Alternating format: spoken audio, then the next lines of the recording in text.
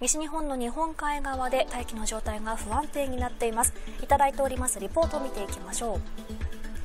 福岡県小郡市からです。氷が降ってきましたとのことで届いております。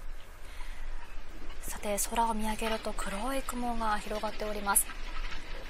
激しい現象が発生しているようですけれども現在の状況は石川さんいかがでしょうか、はい、えー、ではまず雨雲レーダー見ていきますと、はい、えー、この山陰から九州北部にかけて、えー、雲の列がありますけれども、えー、一個一個の雨雲がですね赤や黄色のですねかなり発達している状況であることが分かります、はい、えー、こういった発達した雲がありますと、えー、先ほどのようなあられ、えー、氷といったものが降りやすい状況ということになるわけですが、はい、えー、この雲の帯ですねゆっくりと東に移ってきていますのでそれが抜けてしまうとまた、えー、青空が広がってくるということで、えー、急な天気の悪化というのはですね一時的なものということになります。はい、ということはこの東側のですね晴れている地域は、えー、西の方からですね黒っぽい雲がえー、もくもくとした雲が見えてきたら要注意ということになりますので、はい、まあ、空のですねそういった、えー、雲の形や雲の色に注目していただくといいかと思います。はい